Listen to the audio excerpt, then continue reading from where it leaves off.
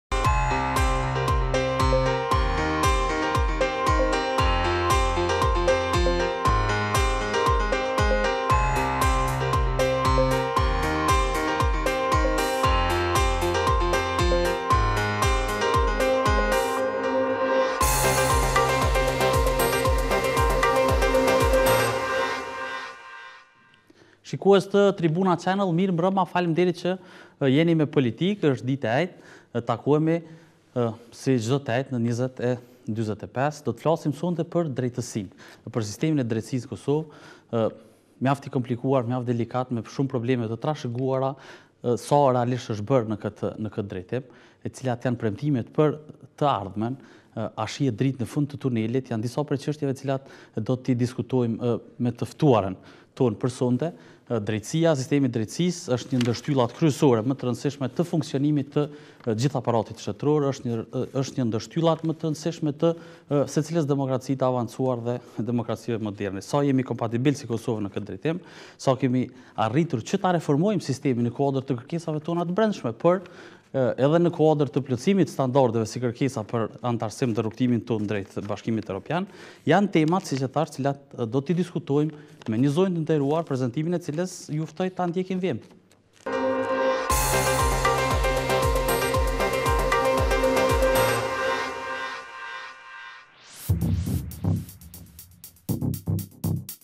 Dhurata Hoxha, ministre e Drejtësisë, ligjëruese universitare dhe e specializuar në siguri ndërkombëtare, e njohur për ngritjen e zërit në kërkim të të drejtave për femrën, anëtare e Women in International Security me seli në Uashington, DC. Ishte këshilltare e kryeministrit Hashim Thaçi dhe kryetarit të Kuvendit Kadri Veseli, kandidate për deputete në Kuvendin e Kosovës. Ndërkaq mori udhëheqjen e Ministrisë së Drejtësisë në korrik të vitit dy mijë e gjashtëmbëdhjetë, promovoi si prioritet në këtë udhëheqje sundimin e ligjit. Sa ka arritur të përmbushë premtimet e saja në këtë tetëmujor dhe cilat janë sfidat e kësaj ministrie, flet sonte në Politikë. Zonja Hoxha, faleminderit që jeni në Politikë në Tribuna Channel sonte. Ju faleminderit për ftesën. Një zonjë në krye të një dikasteri goxha goxha delikat, një vendim goxha i rëndësishëm i qeverisë, natyrisht edhe i Partisë Demokratike, sa po ju sfidon funksioni i ri, i cilin siç e thamë edhe në prezantim, e keni marrë në udhëheqje që nga korriku i vitit të kaluar. Ministria e Drejtësisë është një dikaster shumë i rëndësishëm, është shtylla kryesore faktikisht e shtetit dhe shtetndërtimit të Republikës së Kosovës.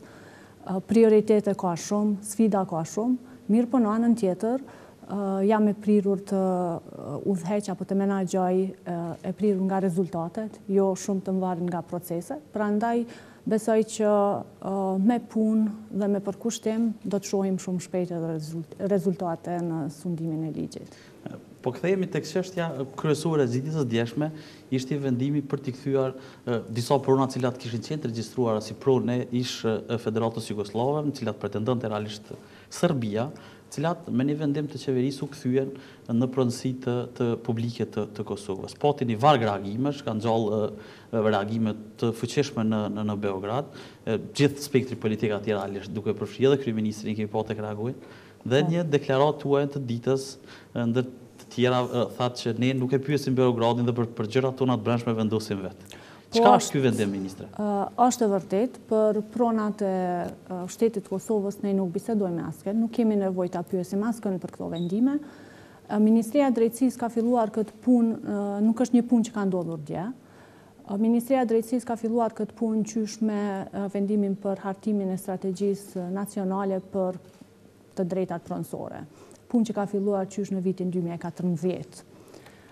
Dhe si analizë, si nevojë, domethënë përbërëse e rregullimit të çështjeve dhe trashëgimisë së pronave, ka dalë që është edhe suksedimi i pronave të ish armatës jugosllave, disa pronarë pronave të ish RSFJ-së, Republikës së Serbisë, dhe gjitha këto prona që gjenden në territorin e Republikës së Kosovës. Domethënë po flasim për një proces që ka filluar që nga viti dy mijë e katërmbëdhjetë. Po, është bërë një analizë e thukët, domethënë gjithëpërfshirëse, gjithë akterët janë përfshirë në këtë proces.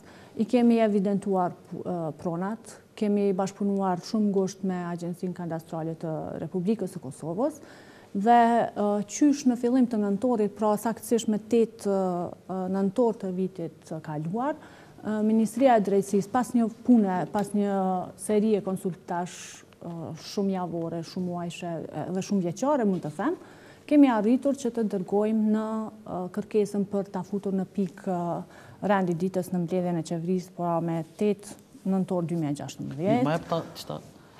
Pastaj... Me tetë nëntor të dy mijë e gjashtëmbëdhjetë-s që keni procedu, domethënë një shkresë në qeveri që të futë këtë çështje si po, si pikë po, të rendit po, të ditës në kodër të. Po. Pastaj është ekspozoi këtë është futur pra në rend të ditës në mbledhje të qeverisë, është shqyrtuar me 29 nëntor këtu ka qenë pra në rend të ditës. Dhe në mbledhje të qeverisë kemi diskutuar që të vazhdohet edhe me disa javë konsulta, Dhe pas këtyre konsultave shtesë me Agjencinë e Privatizimit të Republikës së Kosovës, me Agjencinë Kadastrale, me Agjencinë e Pyjeve të Kosovës dhe shumë agjencione të tjera, ne kemi shtruar kërkesën tjetër, e cila është me 28 dhjetor, për ta futur prapë në mbledhjen e qeverisë, sepse kemi menduar që kemi qenë të bindur dhe ende jemi të bindur, pra që të gjitha pronat janë evidentuar, së bashku pra me gjithë, po, me gjitha akterët. Dhe procedimi apo hyrja në mbledhje të qeverisë ka ndodhur tek me një mars, kuptohet është një agjendë e ngarkuar e qeverisë dhe me një mars ka kaluar edhe vendimi në mbledhjen e qeverisë. Ju po pra- thoni që nga, që nga nëntori i vitit kaluar i keni drejtu qeverisë së Kosovës, kabinetit, po, kryeministrit konkretisht, po, një e-mail përmes cilit i kërkoni që të procedojë për si pikë të rendit të ditës çështjen e kthimit të këtyre pronave. Po, po, po, pra kjo është një punë që në background... Dhe një gjë e tillë ka rezultu që të futet, kthehet tek në fillim të këtij muaji, me një mars. Po, me një mars. Pra, kërkesat janë bërë, ka qenë një herë në mbledhje të qeverisë, e kemi diskutuar dhe pastaj ka rezultuar edhe në konsulta shtesë, në regjistrin kadastral, në evidentimin e pronave dhe pastaj ka ardhur deri te vendimi me një qershor, me një mars. Me një mars. E thashë edhe një herë, ngjolli një reagim goxha të ashpër gjatë ditës së djeshme nga akterë të politikës në Serbi. Sërbë të Kosovës, sërbë lokalë po ashtu, përfaqësuesit e Listës Sërbe që janë në Kuvendin e Kosovës, e quajtën edhe si represion të të vendorëve. Gjatë mbrëmjes po ashtu u raportu që kishte disa raporte të të tensionuara gjatë një darke të përbashkët që kryeministrat e vendeve të rajonit kishin në në në në Bosne. Çka realisht nënkupton kjo për në raportin tuaj me serbët? A mund t'i lëndojë këto raporte ministre? Nuk mund t'i lëndojë këto raporte, në të vërtetë është e paarsyeshme edhe të ketë deklarime të tilla, qoftë nga Lista Srpska, qoftë edhe nga Qeveria e Republikës së Serbisë, sepse tek e fundit ne jemi dy shtete të pavarura, Republika e Kosovës është shtet qysh nga viti dy mijë e tetë, Dhe ne kemi vepruar njëjtë apo sipas praktikës së njëjtë siç kanë vepruar edhe ish-republikat tjera të ish-Federatës Jugosllave. Pra kjo është një çështje e cila republikat tjera të ish-Jugosllavisë kanë kaluar nëpër këto praktika. Suksedimi është një çështje e të drejtës ndërkombëtare të cilën të cilat parime kanë vlejtur edhe për rastin e Kosovës. Pra ne Sipas planit të Ahtisarit, sipas shpalljes së pavarësisë, sipas negociatave dhe gjitha këto e kemi të drejtën sepse në fakt këto prona janë në territorin e Republikës së Kosovës dhe për këto prona ne nuk bisedojmë me Serbinë. Këto janë prona që ne i menaxhojmë vetë, shteti i Kosovës vendos vetë për pronat e veta. Prandaj Vendimi është i plotfuqishëm, është sipas ligjeve në fuqi të Republikës së Kosovës dhe sipas Kushtetutës së Republikës së Kosovës. Dhe prapë po e theksoj, për pronat e Republikës së Kosovës ne nuk bisedojmë me askënd dhe nuk e besoj që ka arsye dhe as nevojë që askush apo dikush të hidhrohet për këtë. Kur do të bëhet, apo është çështje e kadastrit pastaj, kur do të bëhet regjistrimi i këtyre pronave? Po këto prona për këtë shkak, domethënë ka qenë ky proces aq i gjatë, Sepse këto prona janë evidentuar, e kanë numrin e vet ngastrat kadastrale. Gjitha këto, qofshin toka, qofshin objekte, qofshin ndoshta objekte komerciale apo çfarëdo qoftë që kanë, domethënë sikur organizata siç janë ish-Ministria e Punëve të Brendshme, ish-Armata Jugosllave, dhe këto organiza, zyre pastaj që kanë qenë ato zyret jo komiteti, jo institucione të ndryshme komuniste që kanë vepruar në atë kohë, ato kanë zotëruar dhe kanë pasur prona. Domethënë, qofshin ato prona zyre, apo ndërtesa, apo banesa në të cilat njerëzit mund të jetojnë, dhe këto prona të gjitha janë evidentuar, pra gjitha kanë emrin, numrin e ngastrës, ku gjinden, lokacionin dhe gjitha këto. Dhe ne këto, për këtë shkak ka zgjatur kjo punë, domethënë, unë e theksova, ne qysh në vitin 2014 kemi filluar me strategjinë nacionale për pronat. Dhe këtu ka dalur si nevojë që këto prona të veprojmë njëjtë sipas praktikës që kanë vepruar edhe ish-shtetet e Republikës Jugosllave dhe ne i kemi regjistruar këto prona. Pra tani mbetet vetëm Agjencionit Kadastral të Republikës së Kosovës që këto prona tash t'i listojë si prona të shtetit të Kosovës.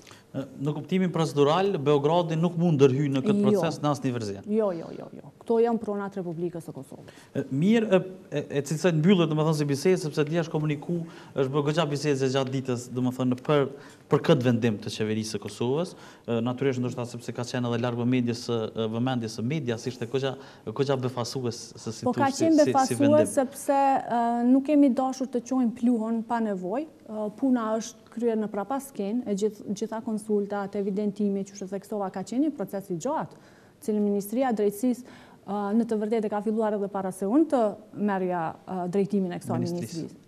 Pra e theksova në vitin 2014, pastaj ligji mbi pronat dhe gjitha këto, domethënë janë hapa të cilat krejt janë bërë, pra me qëllimin e evidentimit jo vetëm të pronave shtetërore apo suksedimit të pronave, por ne kemi edhe shumë sfida të tjera në lidhje me çështjen e pronave.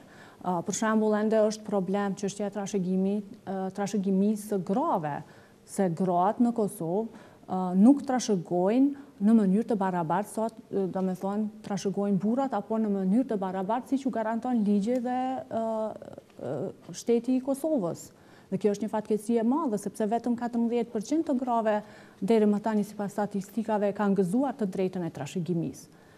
Megjithatë edhe në këtë pikë kemi pas një fushatë e cila është mbështet edhe nga vendorët, edhe nga qeveria e Kosovës, kemi pas edhe një investim goxha të madh të qeverisë amerikane në fushatë mediale, pastaj në takim derë më derë me gratë, sa i takon të drejtave pronësore, të drejtave pronësore të grave. Po, ne dimë se jetojmë në Kosovë dhe realisht, domethënë janë të drejta të cilat janë në nëpërkëmbë dhe janë mohu në vijimësi si, si, si rezultat i, i dokeve, zakoneve, një tradite kryesisht të tonës. Është... Si është kjo gjendje sot ministre, është investuar po. goxha shumë Dhe a ka pas sukses si të thush edhe si fushata dhe si investim dhe sa jemi qasur seriozisht si shoqëri dhe si politikë në raport me këtë problematikë? Po. Nëse i krahasojmë shifrat e para disa viteve, pra para se të para se Ministria e Drejtësisë të fillonte të mirrej intenzivisht me këtë çështje, pas para fushatave vetëdijësuese dhe pasi ka filluar edhe USAID-i, qeveria amerikane të na ndihmojë, por edhe ligjet, udhëzime të ndryshme, reforma të ndryshme që ne i kemi ndërmarrë si Ministri e Drejtësisë,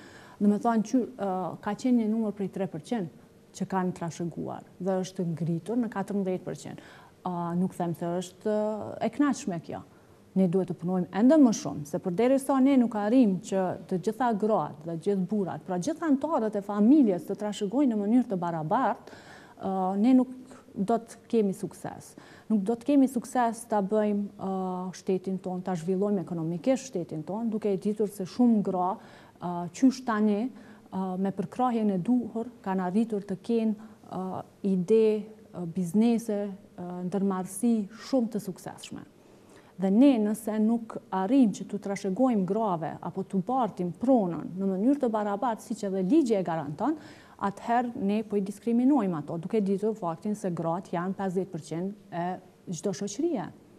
Pra ne po e lëmë një grup shumë të fuqishëm, një shtyllë të shtetit të Republikës së Kosovës anash, të pandihmuar. Dhe prandaj edhe këtu dëshiroj të shfrytëzoj rastin dhe të bëj thirrje që gratë ta gëzojnë këtë drejtë, ta ushtrojnë këtë drejtë. Ato e kanë të drejtën të trashëgojnë, mos të heqin dorë nga trashëgimia e tyre. Sa janë gjendur pranë institucionet, sa janë gjendur pranë mekanizmat konkretë, gjykatat, grave në kuadër të këtij procesi, sepse. Po, ende ka mangësi, ende ka sfida edhe në këtë aspekt, edhe edhe gjykatat kur ka të bëjë me rastet e pronave Jo vetëm pse janë raste të pronave, po jo vetëm pse janë gratë në pyetje, mirëpo kemi për shkak të sistemit gjyqësor, numrit të madh të lëndëve të grumbulluara, po ka vonesa edhe në këtë aspekt. Mirëpo me reformat që kemi ndërmarrë si Ministri e Drejtësisë, përkatësish me reformimin e ligjit për procedurat jokontestimore, ligjin për noterinë, për përmbaruesit privat dhe ndërmjetësimin, ne kemi arritur që sado pak Këtë çështje ta bartim edhe tek disa institucione të tjera të cilat munden më shpejt të lëvizin. Dhe për këtë shkak mu përkatësisht për mu për trashëgiminë e grave e kemi bartur të drejtën tek noteri, mirëpo edhe në ligjin tani që është në Kuvend, pra projektligjin e ri që kemi plotësuar ndryshuar ligjin e kaluar, e kemi adresuar këtë çështje të trashëgimisë së grave. I kemi adresuar sfidat ku për shembull tani më noteri nuk e bën transferin e pronës apo një grua nëse don të heq dorë nga prona, noteri nuk mund ta bëjë këtë automatikisht. Pra me ligj parashihet që noteri duhet të ketë një sesion apo një seancë vetëm me personin apo me gruan që vajzën, nënën, që dëshiron të heq dorë nga trashëgimia dhe të vërtetojë se ajo nuk është nën presion. Pastaj, me Ligjin për Procedurën Jokontestimore, raste të cilat nuk ka konteste, nuk ka mosmarrëveshje, ato automatikisht nuk shkojnë në gjykata, por është noteri i cili e bën kontratën, e bën bartjen e trashëgimisë.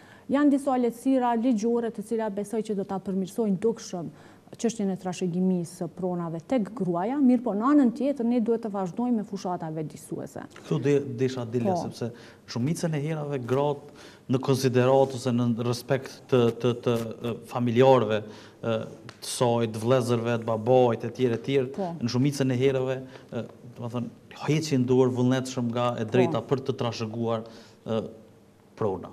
Sa këshillohen këto gra në këto procese tek noteri etj etj, që të mos e bëjnë një gjë të tillë sepse janë të barabarta, apo e ne Duhet të vazhdojmë aty ku ku ju ndërpreva ministre, që të ushqejmë si të thuash opinionin publik, të ushqejmë vetëdijen e tyre, këtyre grave anëkënd të Kosovës, që të mos e bëjnë një gjë të tillë, sepse janë të barabarta, kur vjen fjala në raport me me vëllezërit dhe dhe pronën që ata do të trashëgojnë nga prindërit ose nga paraardhësit e tyre. Po e theksoj, Me ligje jemi munduar ta ta adresojmë këtë problem. Mirëpo në anën tjetër ne duhet të punojmë shumë edhe në ngritjen e vetëdijës, në ndryshimin e mentalitetit, kulturës tonë. Sepse është edhe një fakt shqetësues që dhuna në familje në mënyrë indirekte apo ndoshta edhe drejtpërdrejt është e lidhur e lidhur edhe me pavarësinë ekonomike të gruas. sidomos dhuna në familje ndaj gruas. Për shembull, nëse një grua do të kishte pronë, ndoshta edhe rastet e dhunës në familje do të zvogëloheshin, sepse gruaja do ta kishte pavarësinë ekonomike dhe nuk do të lejonte që dhuna të vazhdoj, ndoshta edhe edhe në rastet më tragjike që kemi parë në në Kosovë kohëve të fundit. Dhe kjo është një fatkeqësi e madhe. Prandaj ne duhet të bëjmë fushata, vazhdimisht fushata vetëdijësuesme, vetëdijësuese, që ta ndrrojë mentalitetin, sepse në anën tjetër nuk është se burrit po i zvogëlohet pjesa e trashëgimisë, se nëse të gjithë e ndajnë trashëgiminë në mënyrë të barabartë atëherë çdo vajzë, çdo motër, çdo grua do ta ketë pronën e vet dhe nuk është se burri pastaj do të mbetet vetëm me me pjesë apo më pak pasuri apo më shumë.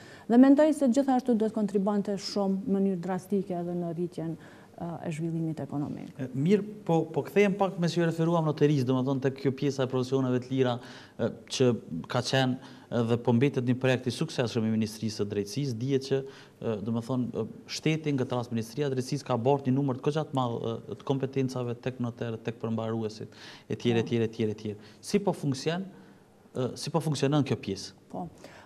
Departament... Aty është e re po. dhe si e re që po. është ka hy në shoqërinë tonë, mund të ketë edhe probleme, ndaj po pyes. Po, kuptohet, ka edhe probleme, mirëpo ka edhe shumë suksese. Për shembull, për herë të parë, kur e kemi paraqitur, apo kur i kemi licencuar noterët e parë, përmbaruesit e parë, ndërmjetësuesit e parë, Ka pasur sfida, sepse njerëzit nuk kanë qenë të njoftuar me përgjegjësitë dhe kompetencat që mund t'i ketë një noter apo një përmbarues apo një ndërmjetësues. Mirëpo kemi vërejtur se ka shumë suksese, gjykatat janë, domethënë, numri i lëndëve në gjykata kanë ndikuar në shkarkimin e gjykatave me lëndë. Pastaj, në anën tjetër edhe noterët kanë arritur që një çështje, një sërë çështjesh, të cilat përpara kanë qenë kompetenca apo kanë zgjatur në mënyrë të me procedura të panevojshme birokratike, tani i kanë përgjegjësi noterët. Në anën tjetër ka dhe sfida, kuptohet, numri i noterëve nuk është përmbushur, numri i përmbaruesve nuk është përmbushur, ne duhet të organizojmë tani edhe provimin për noter. Me ligjin e ri për noter, për shkak të ofrimit sa më të madh të shërbimeve tek qytetarët e kemi plotësuar ndryshuar ligjin ku noterët pra e kemi ulur numrin ku ku do të ketë noter më tepër për kokë banori, pra për çdo 10.000 banorë do të ketë një noter, sepse kjo na ka paraqitur sfidë në vete apo probleme në disa qyteza të vogla, ku nuk ka pasur fare noter. Dhe qytetarët, apo unë vazhdimisht kam pranuar ankesa nga qytetarët.